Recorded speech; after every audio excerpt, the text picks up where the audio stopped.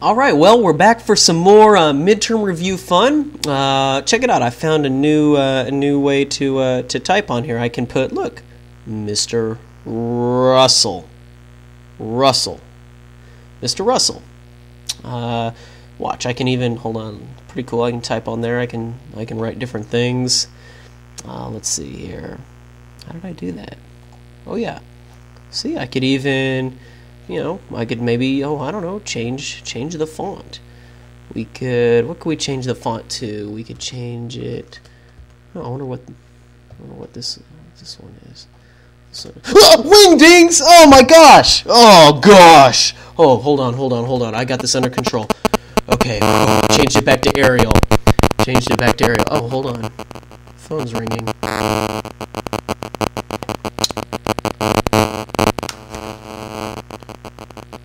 Hey, one second.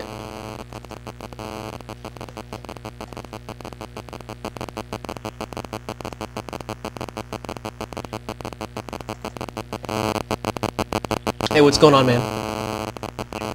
Doing well, doing well.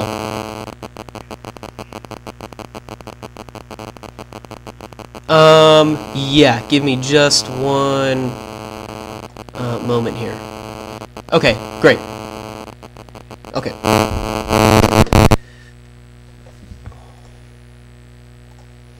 All right, some more math. Let's uh, get to it.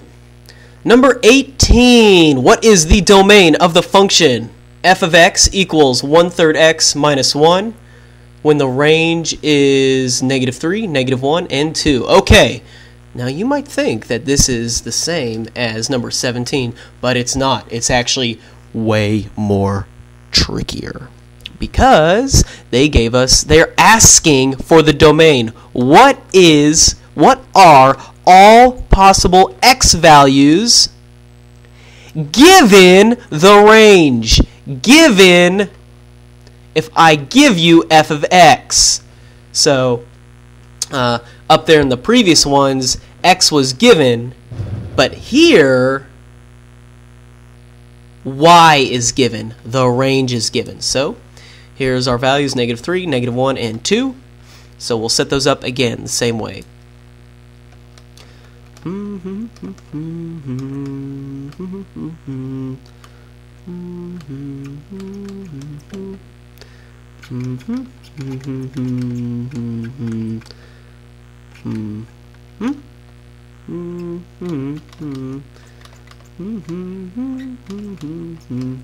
Okay, so you see what I did was I substituted all of these values in for the y, in for f of x, which you can also think of as y. Why did I do that? Well, it told us that when the range is negative 3, negative 1, and 2, and the definition of range is all possible y values. So that means that I need to solve for x in each one of these. So I'll uh, add 1 to each side. That gives me negative 2 equals 1 third x. To get rid of that 1 third, I need to multiply by its reciprocal, 3 over 1. Those cancel. I need to multiply by 3 on this side, 3 over 1 on this side. And so that gives me negative 6.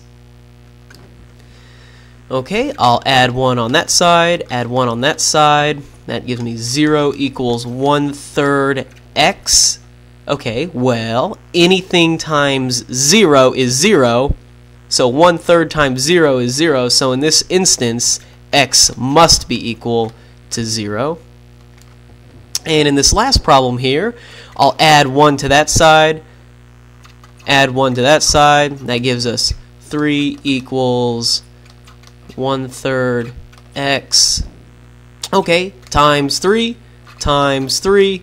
Those 3's, that 1 third cancels with that 3. And that gives me x equals 9.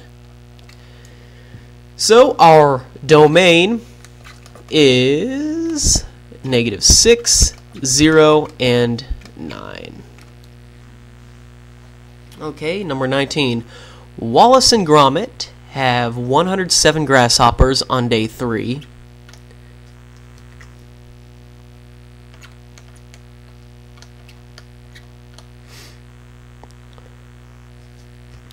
We'll make it a little bit more uh, intuitive here. So day and grasshopper. So day is number three. Oh god, I am freaking out here. Okay. On day three, they have 107 grasshoppers.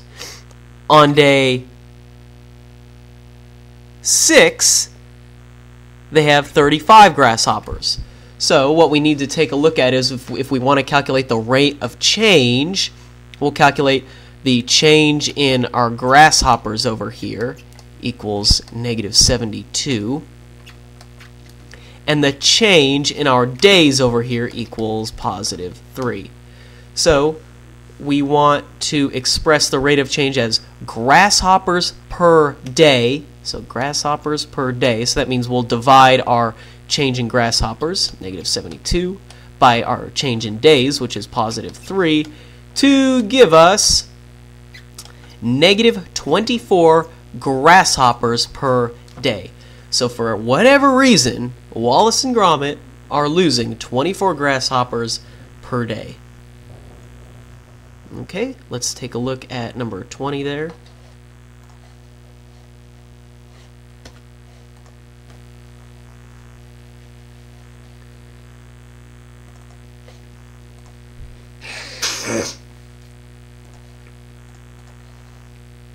Okay, so for number 20, uh, it's another Wallace and Gromit problem. They are just all over the place today.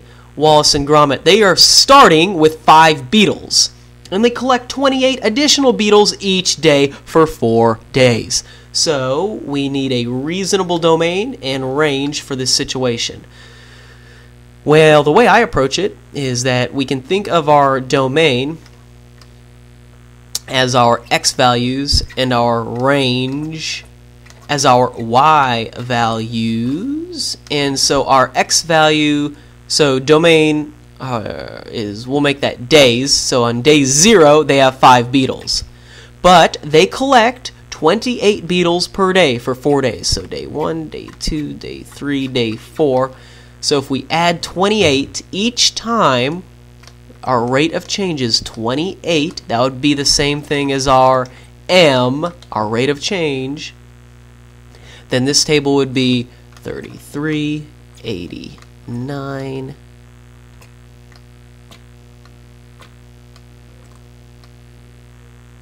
Wait, what's going on here? 1 would be 33, 2 would be... Oh, sorry, I skipped a step here.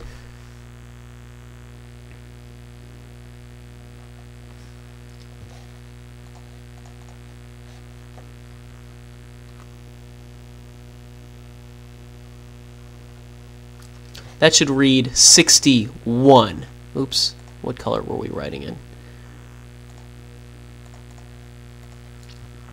Be 61, um, 89, and then on day 4, sorry my table is so screwed up, be 117. So a reasonable domain would be 0 days, 1 day, 2 day, 3 day, 4 days and then our reasonable range would be the amount of grasshoppers they had on each day. So on day zero, they had five grasshoppers, and so forth. I'm just copying it down from our table. Okay, there's 20. Quick little refresher on domain and range. Let's take a crack at 21 here. Table gives information about the total bill based on the number of hours a repairman worked. What is the rate the repairman charges? So our rate over here is a change of 1. And our rate here is a change of 15. Oh, wait, hold on. I'm sorry. That's a change of 2. Change of 2. To get from 1 to 3, you have to move 2 spots over. Let me rewrite that. Change of 2. So our change, uh, the rate the repairman charges Okay, x is usually always our time variable, so we know that's going to be time, and our total bill uh, will be our y, so we want our change in y over our change in x, which would be $15 over 2 hours, and that equals seven and a half dollars per